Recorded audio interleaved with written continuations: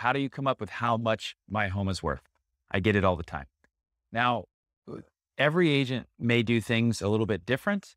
Often, uh, when I'm sitting down with the seller, they say, Well, Zillow says my home is worth this much, or this online evaluation tool says it's worth that much.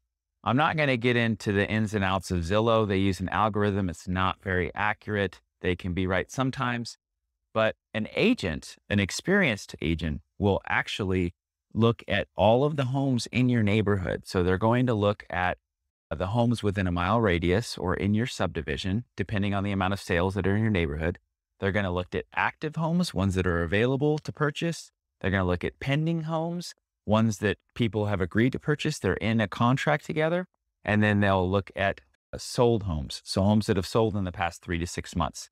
Every market's a little bit different, but they're really, really going to look at quite a bit of data. And where this differs from Zillow and, and Redfin and all these online evaluation tools is they use an algorithm, but they don't have a way to look through the data to see if it if the house backed up to a really busy street or the inside of the house smelled really bad. It was a bad location, really, really busy.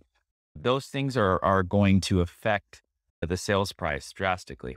So an agent is going to look at things like that uh, the location, the condition. They're going to look at, you know, if the house is right across street from an elementary school, that's going to affect the price. And so there's so many factors that we're looking at, but we're looking at the quality of craftsmanship, the quality of upgrades of maybe your house versus other ones that have sold. Not all upgrades or renovations are created equal. We're also going to look at things like pools, size of the lot, size of the yard, owned solar versus leased solar. There's so many factors, kind of like has an appraiser, appraiser will look at like 5,000 data points to come up with a price. So that's why you'll have a lot of agents say, oh, your house is worth this. Oh, no, your house is worth this.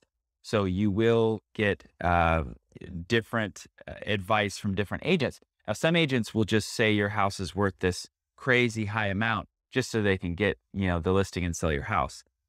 But you got to look at the agent's track record on uh, how they've sold houses in the past, how many they've sold, how many of a percentage have they sold over list price, the house that the price that it was listed.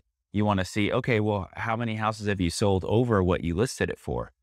And that's a good determining factor. Now you have to look at the market as a whole, what's going on at the time of this video, the market is is extremely competitive, and house prices are uh, steadily rising. But in order to find the right price, it doesn't necessarily mean that you're going to list it at that price. It depends on what's going on in your neighborhood as well, how many houses are for sale, the time of the year. So, again, a lot of factors. But if you have a trusted realtor that has experience and a great track record on selling homes, you're going to be able to trust the list price they give you is the right one for you. So, Brandon Leon, Better Homes and Gardens. Hope this video is helpful for you. Take care.